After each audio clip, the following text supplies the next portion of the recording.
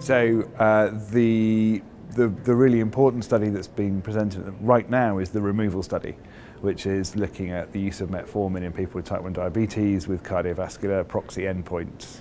Uh, so those data are very interesting.